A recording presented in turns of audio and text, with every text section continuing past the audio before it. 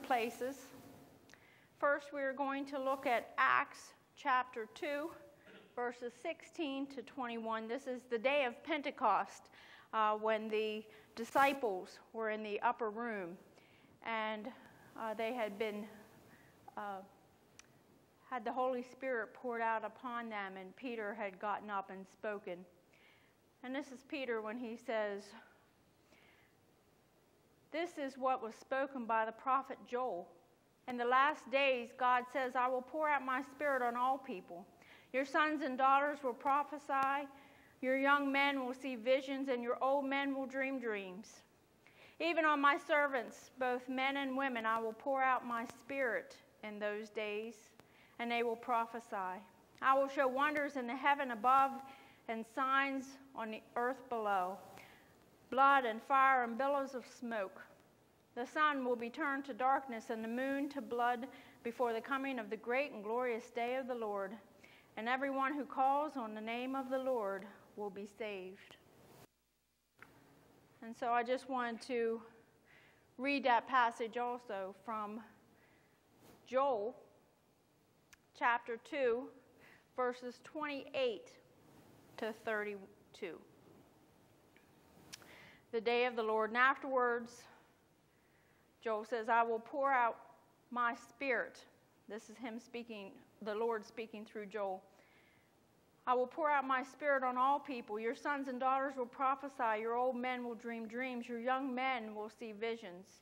Even on my servants, both men and women, I will pour out my spirit on those days.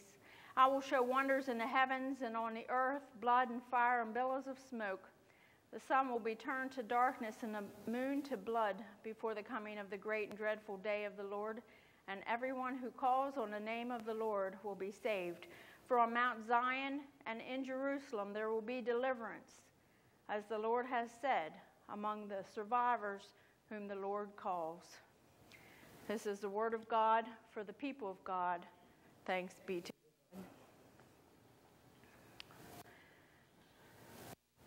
And so you'll see today we are speaking about the Holy Spirit. And this is what Jesus had said about uh, the Holy Spirit in the Gospel of John. Jesus said, When the advocate comes, whom I will send to you from the Father, the Spirit of truth who goes out from the Father, he will testify about me.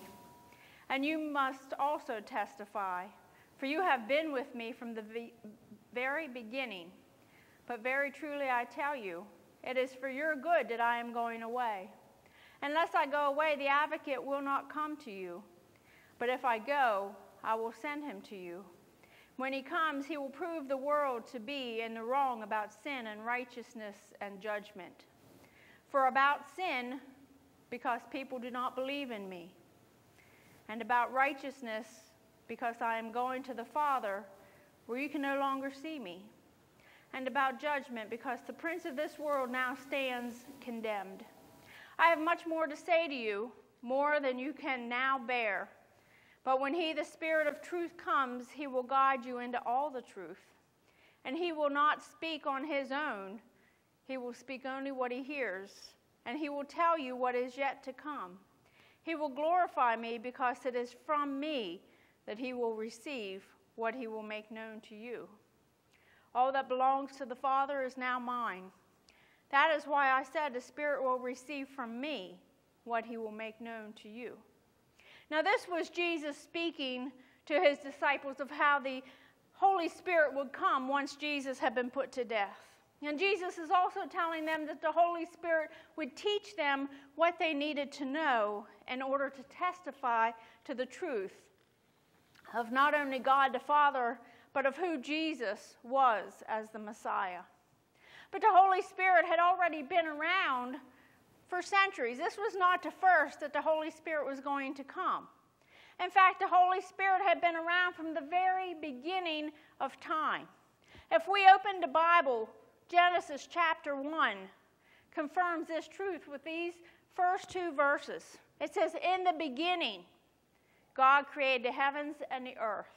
And now the earth was formless and empty, and darkness was over the surface of the deep, and the Spirit of God the Spirit of God was hovering over the waters. Now, throughout history in the Old Testament, we find that the Holy Spirit was often given by God to the prophets so that they could foretell of things that were to come.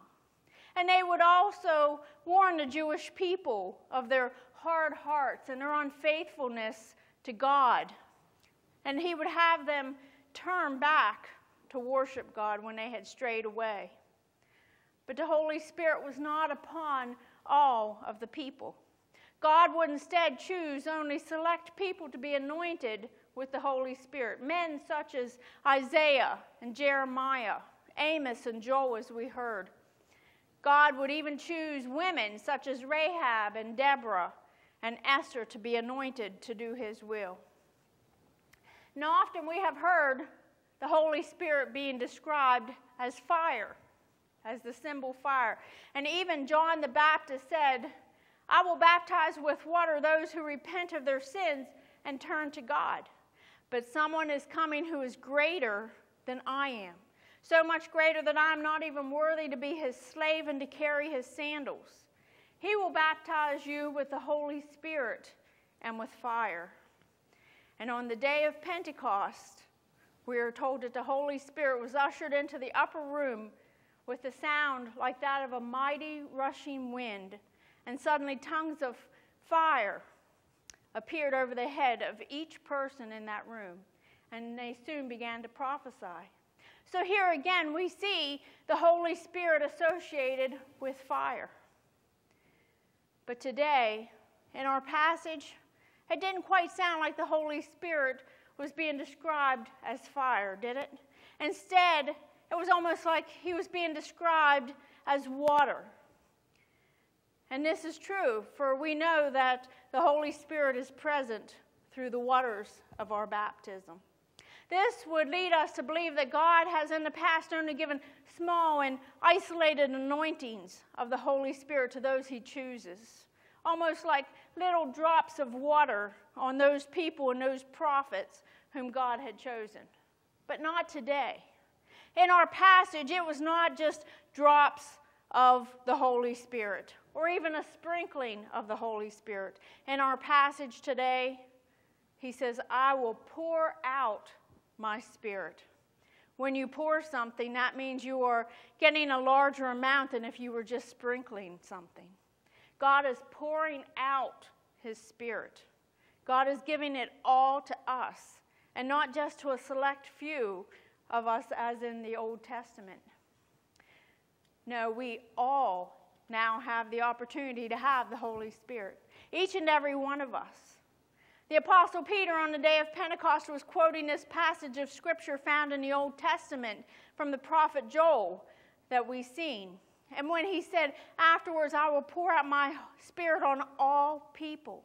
Your sons and daughters will prophesy. Your old men will dream dreams. Your young men will see visions. It said, Even on my servants, both men and women, I will pour out my spirit. And I will show wonders in the heaven and on the earth blood and fire and billows of smoke. The sun will be turned to darkness and the moon to blood before the coming of the great and dreadful day of the Lord. And everyone who calls upon the name of the Lord will be saved.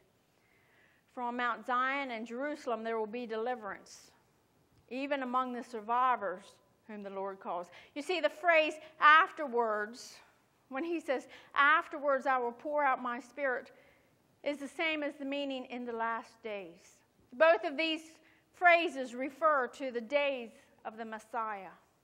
So Joel is predicting way back then, this day of Pentecost, when the Holy Spirit would be poured out on the believers.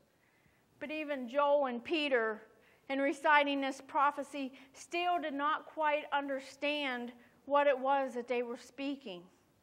They didn't quite understand the meaning of how the Spirit would be poured out on all people. Both of them, especially Peter, would think that all meant all of the Jewish people, all of God's chosen people. They do not think that all, in this instance, includes the Gentiles. It was understood that the Spirit will be poured out upon all of the Jewish people. They understood that. That was an understanding That was God's chosen people. They knew that they would have the Holy Spirit. But Peter and those gathered in the upper room witnessed the Holy Spirit being poured out on both the old and the young, the male and the female. They didn't understand that soon it would not only be the Jewish people. You see, Peter would not realize this in full until this uh, passage that we had preached on a few weeks ago when he saw the white sheet full of the animals coming down in front of him. And the Lord had said, Go ahead, Peter, kill and eat whatever you like. And then Peter had realized that some of those were unclean. And then Peter, afterwards, that same day, went to the home of Cornelius, a Gentile, and there he witnessed to him, and the Holy Spirit fell upon Cornelius and his entire family, both the family and the servants alike. You see, God is no respecter of persons. He does not care about the social status or the age of a person. We will see that he also does not take into consideration the gender of the person. What God does take into consideration is the, that that person has knowledge of God and that they have a belief in God. The rest of this passage from Joel reads much like the breaking of the seals in the book of Revelations as God prepares for that great day of judgment when he says about the moon will be turned to blood. You see, I came across this description of what that great day of judgment would be like.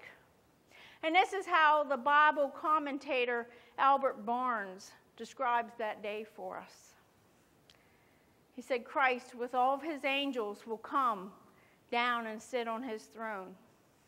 All who have ever lived or who shall live shall be placed before him to be judged. All thoughts, words, and deeds shall be weighed most exactly. On all, a sentence will be passed, absolute, irrevocable, without, throughout eternity. The saints, the saints shall be assigned to heaven, the ungodly to hell. A great gulf shall be placed between them, which shall sever them forever, so that the ungodly shall never see the godly again, shall never see heaven, shall never see God, but shall be shut up in a prison forever and shall burn as long as heaven shall be heaven, or God shall be God. That day shall be great to the faithful, but terrible to the unbelieving. Great to those who said, Truly, this was the Son of God. But terrible to those who said, His blood be upon us and upon our children. When you are inclined then to sin, Albert says, think on that terrible and unendurable judgment seat of Christ, where the judge sits on his lofty throne. And all creation shall stand in awe of his glorious appearing. And we shall be brought one by one to give an account of what we have done in life. Then those who have done much evil in life will be given over to their fate. There will be a deep gulf, an impassable darkness with a lightless fire, retaining in darkness the power to burn, but absent to give any rays of light. This also is where the poisoned and ravenous worm will devour and never be satisfied. But found there is also the sharpest punishment of all, and that is unending shame and everlasting reproach. You see, Albert Barnes warns us to fear these things, and by this fear, hold on tight to our souls as if with a bridle to keep away from the lust of evil. When I was asked about this scripture passage, it was thought that the meaning of the scripture being of the Spirit being poured out on all the people meant that all the people would eventually be saved in the last days before Christ returns. I think we see from this description of the great judgment day, as well as this commentary by Albert Barnes that this is not the case.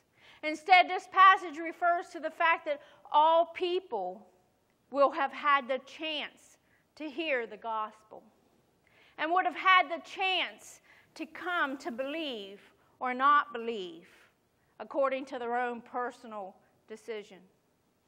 Sadly, many will choose not to believe. And I think that it is fair to say that there will always be those on earth who will not believe in Jesus Christ for one reason or another. But all will have had the chance to choose. And any who choose Jesus will not be turned away. You see, God has left us with an everlasting promise. And that is how Joel finishes out his passage as he reminds us when he says, And everyone who calls on the name of the Lord will be saved. For on Mount Zion and Jerusalem there will be deliverance, as the Lord has said, even among the survivors whom the Lord calls.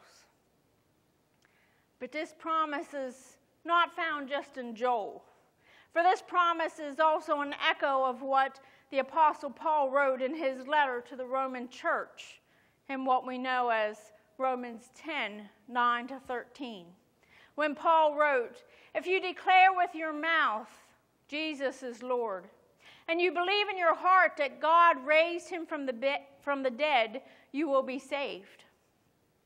For it is with your heart that you believe and are justified, and it is with your mouth that you confess your faith and are saved.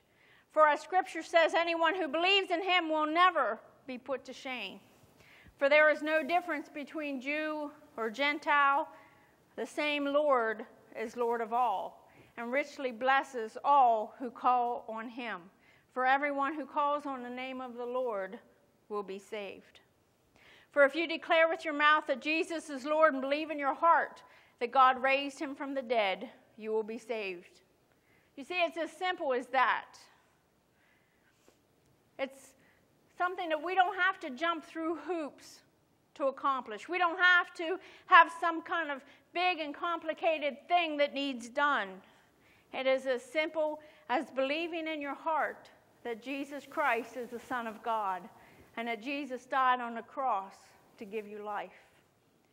We have just learned that God wants you, young or old, male or female, to come to Him.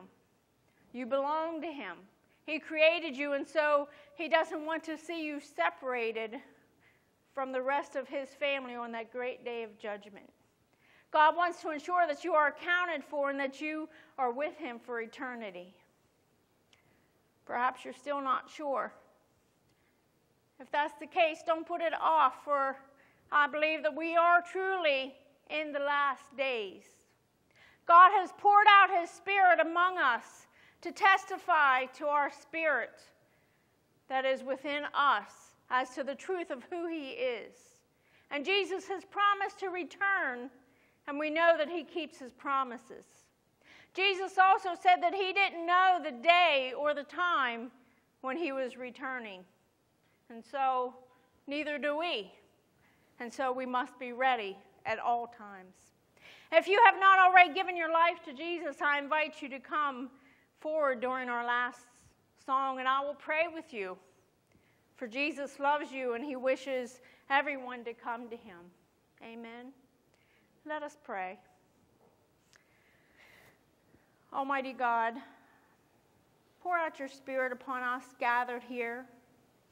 May your Spirit wash over us who are gathered and quench us with the refreshing and renewing life that is only found through you.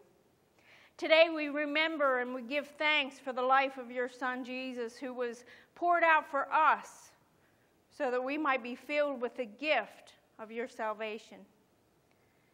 May we too be raised one day to eternal life. And may your Spirit continue to witness to us and to all of your people everywhere, so that all would choose you. Empower each of us, your sons and daughters, to not only dream dreams and see visions, but to also prophesy and to go boldly forth proclaiming the truth of your promises to others. Amen.